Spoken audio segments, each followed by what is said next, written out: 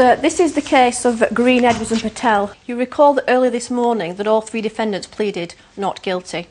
And following on to from your early decision that this matter was suitable for a summary trial, both the prosecution and defence advocates agreed that all 15 witnesses for the Crown would need to attend court and that the CCTV evidence would be relevant.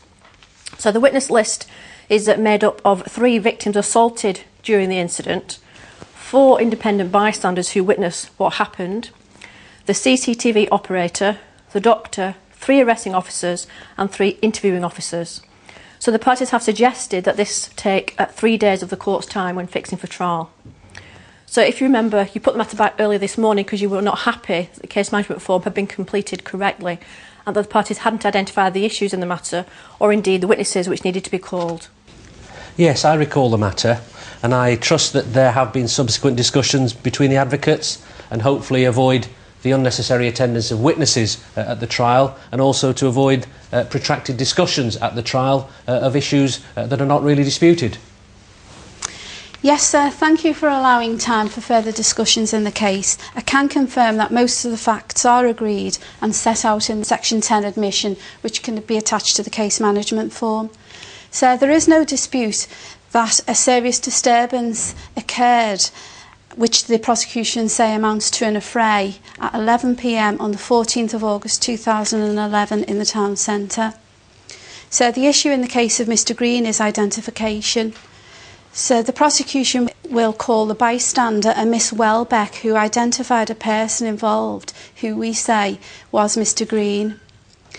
So we also intend to call a police officer who gives evidence of one issue only, and that's incriminating comments which were allegedly made by Mr Green. The CCTV evidence will be prepared by the parties and will show only the incident which involved Mr Green. So the defence agreed the summary of the record of taped interview as it appears in the MG5, and this can form part of the Section 10 admission. Thank you. That's correct, sir. In addition, we are endeavouring to trace witnesses to confirm that our client, Mr Green, spent the entire evening in the snooker hall. Yes, thank you. Uh, well, in that case, I will note on the form that uh, you are intending to call witnesses, and I'll make a direction that full uh, witness details as required are lodged with the court and the CPS 14 days after service of the unused material, and I'll also direct the prosecution to serve the unused material within 21 days. Yes, sir. Yes, thank you, sir. In relation to Mr Edwards, his representative, his representative has confirmed that the issue is self-defence. And this has been on, endorsed on the case management form, sir.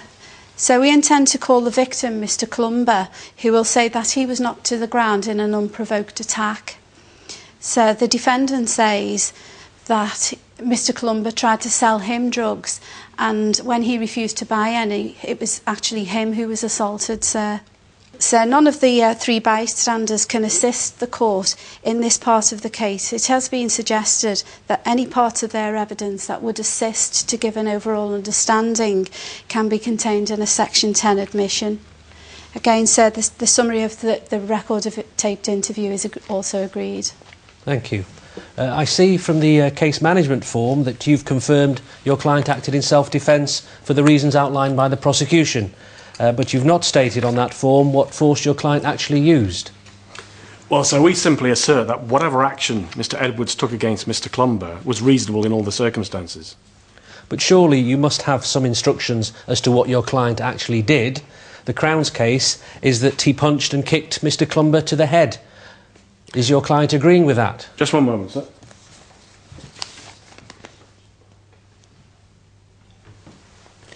Mr Edwards will say, sir, that uh, Mr Clumber attempted to punch him once, and uh, fearing another attack, uh, Mr Edwards punched Mr Clumber once in self-defence. There were no kicks. Thank you. That's very helpful. Uh, with your permission, I propose to endorse that on the case management form. As far as the prosecution are concerned, what's the position with the third defendant, please? Sir, Mr Patel's case is a factual one. So, in that the Crown say he encouraged Mr Green in the assault of Mr Clumber by shouting, kick him in the head. So the defendant says that he shouted, don't kick him, Ed. The only two people, sir, that can assist in this, in this matter are the arresting officer and the defendant himself. Well, thank you. I'm very grateful to all the parties for the efforts they've made. And I must say that this is a classic example of how properly identifying the issues can cut down the unnecessary attendance of witnesses at a trial and assists greatly in avoiding uh, wasting valuable court time uh, by overlisting of cases. Uh, as I understand the position now, there will be four witnesses for the prosecution. It's anticipated the three defendants will give evidence on their own behalf, and there will be alibi witness or witnesses on behalf of Mr Green if appropriate. That's correct, sir. So the statements of all the other police officers, so the CCTV operator and the doctor who observed Mr Clumber's injuries can be properly edited and served by way of Section 9, sir. So in addition to assist the court, I will prepare a short note, sir, of the law in relation to joint enterprise, identification and self-defence. Thank you. That's very helpful. Perhaps that can also be served on the court and the defence at the same time as disclosure takes place. Yes, sir. I note also that uh, if Mr Edwards' defence is maintained as it seems to be at this point in time, that clearly uh, will raise the issue of bad character, as it will be an attack on Mr Clumber's character. And there clearly then could be an argument that there is bad character admissible under Section 101.1g of the Criminal Justice Act 2003. Clearly, this is one of the gateways that the defence uh, could seek to exclude that evidence on the grounds of fairness. And clearly, in those circumstances, the court has a discretion whether or not to allow uh, that evidence. Is there to be a bad character application? That's correct, sir. We've already served notice on that to the defence, sir. However, both parties uh, agree that this is a matter which is very common, sir, should be dealt with at the trial process. There are, no, there are a number of reasons why this is more appropriate for the court to reach a decision at that stage, sir, not least of which is Mr Clumber's reluctance to come, to court. I see you then. In accordance with the guidelines on vulnerable witnesses, I assume Mr Clumber has been informed uh, that uh, there may be special measures available. So there, has been some difficulty in obtaining Mr Clumber's views, sir. He is Lithuanian and speaks very little English. So he has been spoken to by the witness care unit, sir, and uh, he has indicated to them, even with the benefit of screens and video links, sir, he still does not wish to come to court. In that case, I assume the Crown will be seeking a witness summons? So, yes, that would be appropriate. Perhaps I could be given a further 14 days to make a written application, sir. Well, my understanding of that, Mrs Bardell, that's not strictly necessary, is it? Uh, no, sir. Part 28 of the Criminal Procedure Rules allows for this and specifically uh, says that an oral application can be made to the court. So it is indeed possible for you yourself to issue a witness summons today.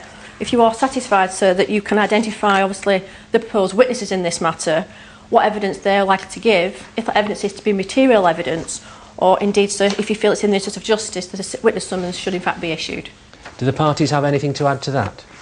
No, sir. Well, clearly in the circumstances, I am aware that Mr Clumber is a witness who can give uh, evidence of an assault upon him, which forms part of the Crown's case in regard to the affray. That is clearly material evidence.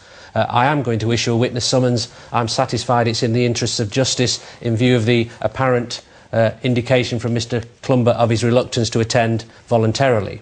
The prosecution have also indicated uh, that Mr Clumber uh, speaks little English and in those circumstances uh, I would ask that a Lithuanian interpreter is made available for the trial. Uh, and finally, uh, I suggest now that the trial can be listed uh, with an estimated length of hearing of one day rather than three.